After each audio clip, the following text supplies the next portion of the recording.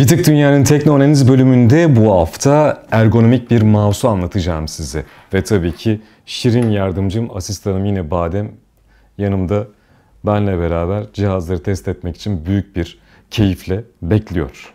Şimdi ergonomik mouse ne demek? Ergonomik mouse öncelikle yapısı itibariyle avucunuzun şeklini alabilen bir mouse. Ve neredeyse şöyle bir ilginç e, salyangozu andıran ve avucunuzun içini kavray kavradığınız zaman da böyle bir elinizin şeklini alabilen yapıya sahip.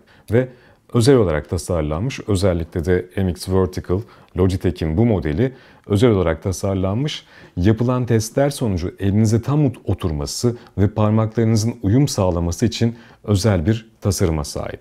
Yine tabii ki klasik mouse'larda olduğu gibi hem sağ hem de sol tuşların fonksiyonu var. Aynı zamanda da yine iç tarafta da farklı e, komutlar atayabileceğiniz tuşlar da var. Bütün bu komutlar sizin işinizi kolaylaştırmak üzerine ve tabii ki elinizin ve de kol kaslarınızın daha rahat çalışması üzerine kurulmuş vaziyette. Şimdi klasik mouse'larda ki problem şu. Elimizi belli bir açıda sürekli tuttuğumuz zaman ve sürekli o gerilimi sağladığımız zaman bilekten başlayarak hem sinirler hem de tabii ki kola kadar ulaşan o tendonlar, o kas grupları sürekli olarak yoruluyor. Ve o yorulmayla beraber bir yandan da kolumuz yorulduğu için vücudumuz da omuzdan itibaren bir uyum sağlamaya çalışıyor veya da tepki veriyor. İşte hem duruş bozuklukları bu yüzden oluşuyor hem de kolun sürekli yorulması dolayısıyla da kolumuzda ağrılar ve bileğimizde ağrılar oluşmaya başlayabiliyor. İşte bu ağrılardan kurtulmak için yapmamız gereken şey şu. Budur. Ergonomik mouse'lar. Ergonomik mouse'un özelliği şu tekrar hemen ifade edeyim. Çok daha rahat bir şekilde oynayabiliyor. Çünkü elinize tam oturduğu için çok minik hareketler yapmakla beraber rahat rahat bütün işlerinizi yürütebiliyorsunuz. Şimdi ergonomik mouse'lar öncelikle kimlerin işine daha çok yarayabilir? 1 grafikerler, kurguyla uğraşanlar, fotoğrafla uğraşanlar, ondan sonra çok uzun saatler boyunca sürekli olarak 6-7 saat boyunca bilgisayar karşısında kalıp mesela işte bankacılar, muhasebeciler veyahut da buna benzer sektör profesyonelleri, işte saatler boyunca okulda ödev hazırlayan öğrenciler mesela. Pek çok kişi ergonomik mouse'lardan rahat rahat yararlanabilir. Şimdi bir ergonomik mouse'da olması gereken şeyler neler? Mesela e, yaklaşık 1960'ların sonundan beri mouse'lar hayatımızda. Ama ta ilk çıkan tasarımlar çok çok ilkelli. Tabii tabii böyle bir e, tahta kutunun içindeydi. Ondan sonra bir tane e, içindeki böyle devrelerden çıkan bir kablo vardı ve o kabloyla beraber de o zamanki ilkel bilgisayarlara gidiyordu bu mouse'lar. Ama 70'lerin sonunda klasik tasarım yerini aldı ve işte o klasik tasarımla beraber iki düğme daha sonradan hemen altında bir e, topla beraber oynamayı sağlayan ve o hareketi sağlayan mekanizma her şey eklendi ve ardından da işte o fareler ortaya çıkmış oldu. Zamanla beraber de kablosuz olanlar ortaya çıktı.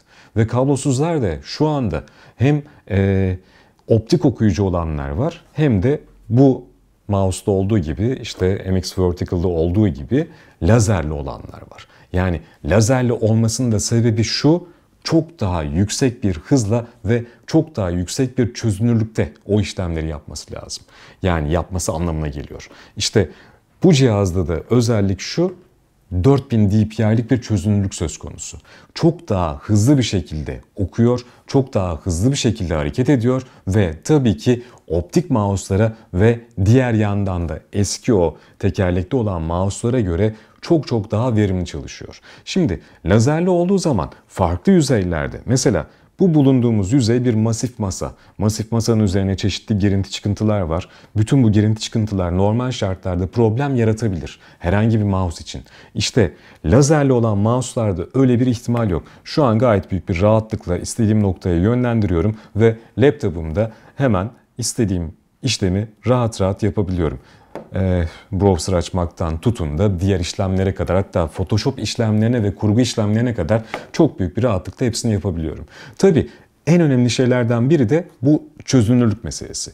Çözünürlük arttığı zaman hassasiyet de artıyor. Yani hassasiyetin anlamı da şu. Çok daha ufak hareketlerle daha büyük alanlara ulaşmak gibi şansa sahip oluyorsunuz. Şimdi ufak hareketler yapınca tabii eliniz, kolunuz, daha az yoruluyor ve duruşunuzu da fazla bozmadan, omurganıza da fazla yük bindirmeden işlerinizi çok daha büyük bir kolaylık ve verimle yapmaya devam ediyorsunuz. Şimdi Logitech'in bu modelinde tabii ki atanabilir tuşlar var. Ee, bir yandan işte scroll'undan e, diğer tuşlarına kadar hangi işlemi yapmak istiyorsanız onun kısa yollarını büyük bir rahatlıkla atayabiliyorsunuz. Alet 4000 DPI dedik. 4000 DPI'nin anlamı az önce anlattım. Çözünürlük ve işlerinizi kolaylaştırması, meseleyi hızlandırması, bütün bir aksiyonun daha ufak alanlarda, daha minimal hareketlerle yapılabiliyor olması. Peki bu sizin ne işinize yarayacak? Mesela oyun oynuyorsunuz diyelim. 4000 DPI ile o oyunu oynayabilir misiniz? Ee, first person shooter oyunlarında 800 ila 1200 DPI'lik mouse'larla çok daha büyük bir rahatlıkla oyunları oynayabilirsiniz. Ama bu demek değil ki 4000 DPI'lik mouse aldım. Ben bununla başka bir şey yapamam. İşte sadece grafik yapacağım, kurgu yapacağım, ses işlemlerini yapacağım, oradan ses programlarını işleyeceğim ya da müzik yapacağım. Böyle bir durum yok.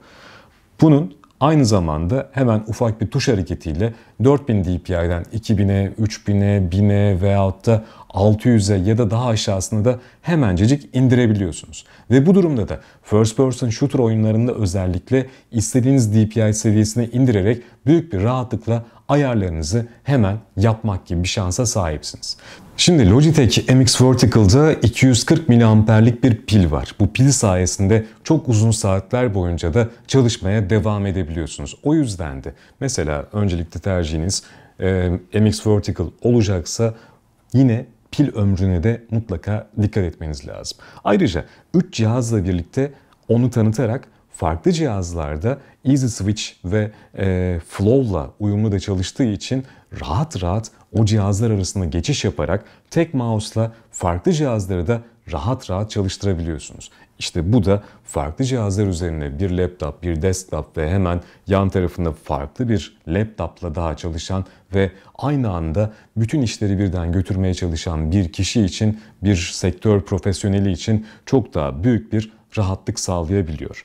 Diğer yandan da işte bu doğal el tutuş veyahut da sıkış şekline uyumlu olarak tasarlanan, özel olarak tasarlanan ergonomik fare size yaklaşık 57 derecelik bir açıyla çok daha rahat bir hareket imkanı sağlıyor. Şimdi hemen artılar kısmına geçmiş oldum.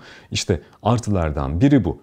Hemen kas grubunu rahatlatması, hareketinizi daha rahat sağlaması ve e, kolunuzda daha rahat kullanmanıza imkan sağlaması. Ve bu sayede de hem de sağlığınız bozulmuyor. Tabii ki teknoloji yine sağlığınızı düşünmüş oluyor. Diğer taraftan da artılardan biri de şu. 4 kat daha az el hareketi yaparak daha minimal alanlarda hareketinizi çok daha büyük bir verimlilikte gerçekleştirebiliyorsunuz. Tabii ki lazerli olduğu için fare mesela işte en başta anlatmıştım bu e, girintili yüzey üzerinde bile çok daha büyük bir rahatlıkla çalışabiliyor. İşte bu da hareketinizi çok daha büyük bir kolaylıkla yapmanızı sağlayan artılardan biri. Son bir artı da şu 4000 DPI çözünürlüğe sahip dedik. 50 ve katları şeklinde. Bunu düşürmek gibi şansınız da var tabii ki. Yani farklı işlemleri yaparken, oyun oynarken ya da grafik üzerine çalışırken işte farklı e, DPI özelliklerine onu düşürerek ardından da işlemlerinize, işlerinize veyahut da eğlencenize büyük bir rahatlıkla devam edebilirsiniz. İşte MX Vertical'ın artıları ve özellikleri bunlardı.